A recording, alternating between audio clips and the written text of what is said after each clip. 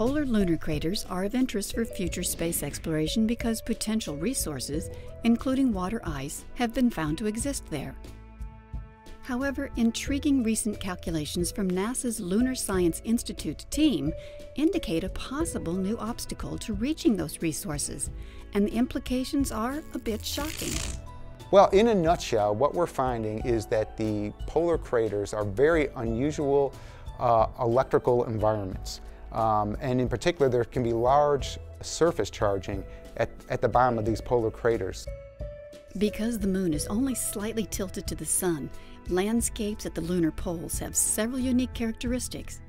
With sunlight coming in sideways, tall polar peaks reach out and receive almost constant sunlight, while deep polar craters hide surfaces that may not have seen light for millions of years. The orientation of these dark craters to the sun may allow them to trap water ice, but it may also be charging them to hundreds of volts. Well, the solar wind is, a, is actually a, a relatively tenuous gas that's emitted from the sun. But it's not a neutral gas like the gas in this room. It's actually a gas that's really, for the most part, free ions and free electrons. It's really two components. And so you have this electrical gas, if you will. And then as it passes by the moon, uh, the electrons behave slightly differently than the ions. Of course, the electrons are a very low mass. The ions are more massive. You know, we don't think of an ion as being like something real heavy, but compared to these little flimsy electrons, they really are.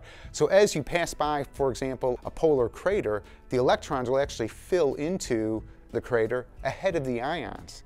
Now, as it turns out, as it does that, you create an electric field. It's called an ambipolar electric field, and that electric field then drives in the ions.